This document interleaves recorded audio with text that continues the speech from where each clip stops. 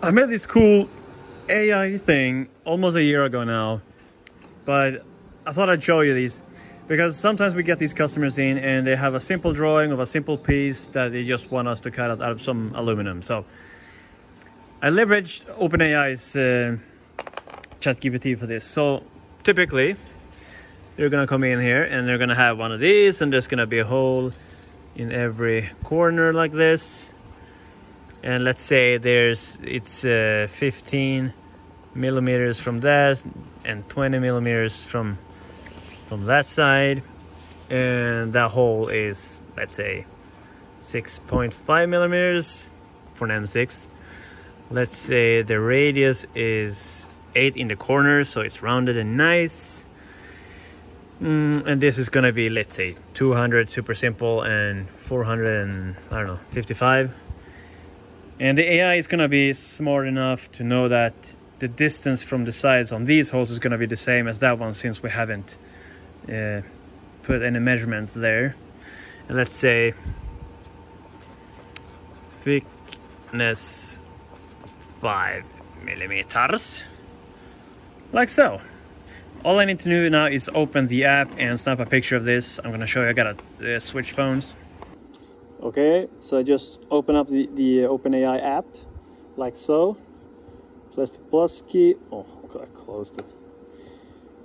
Take a photo, and we're gonna grab a photo of this, like so. And next, and now it's gonna generate a barcode for us. And it used to just display the barcode right in the app here it stopped doing that when uh, OpenAI uh, updated their, their model there. So we're just gonna get a link here instead. I'm gonna show you, it's super basic. We're gonna copy that and we're gonna go into our browser and we're gonna paste that in and that's our barcode. So that's just the seed you see underneath there and the, that's the what's the barcode is representing and I made it like this because I wanted to just scan it here, have it import and auto generate everything. Too bad that thing can't read my phone screen. If it was a QR code, then that would have worked. I can just replace it, but nah, not worth it. So I'm gonna have to type that in in my, you know, little script thing. Like so. And I press enter. It did this thing.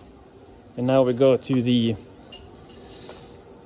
the Kimla here and we're gonna be importing the file the output DXF there. Bam. So here's our drawing. And we can see that uh, you know, there's a radius of 8 there. I can't I have to use my other hand to show you the dimensions but it's the correct dimensions from the edges and whatever all four of them. And if we wanted to to produce this we're just gonna go up there generate bam that's our G code. Refresh them as you can see we're gonna make the small horse first then we're gonna cut the thing out we're gonna chamfer it on top and then the bottom. So realistically we're going from a quick drawing to producing the part in like no time at all. Pretty nice